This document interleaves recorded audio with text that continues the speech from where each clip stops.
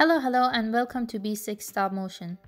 In this video, we are going to remove the green screen from our stop motion animation in Premiere Pro.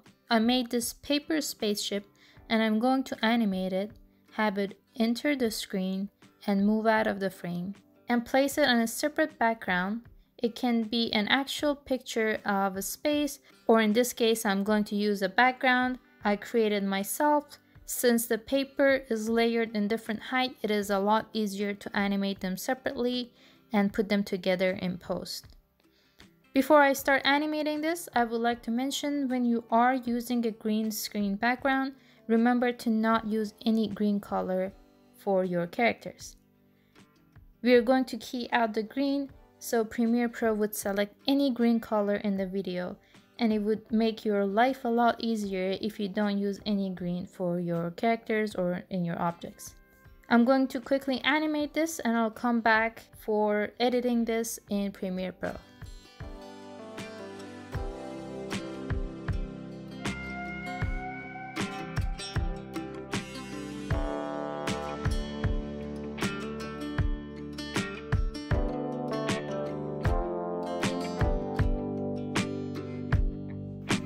Okay, so I finished animating the paper spaceship and I brought it to Premiere Pro. It is in this layer.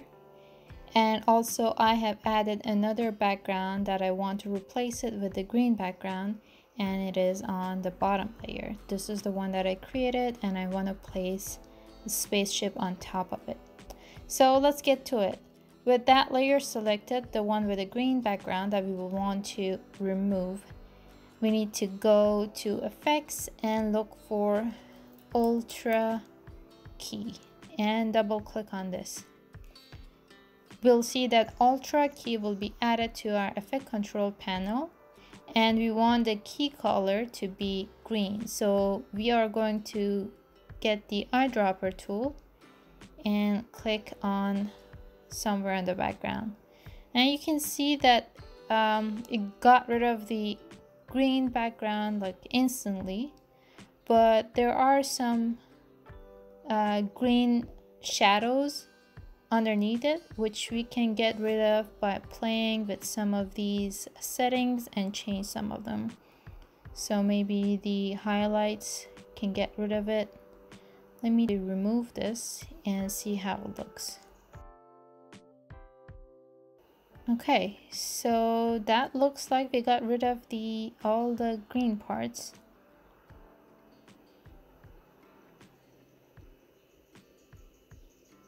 But there is still uh, some stuff happening here. Alright, that should solve it all.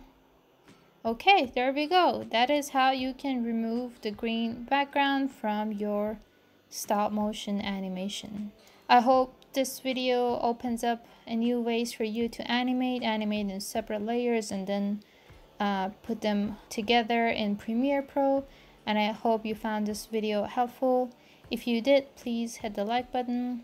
If you're a stop motion fan, don't forget to subscribe and if you have any questions or comments, feel free to leave them in the comment section below.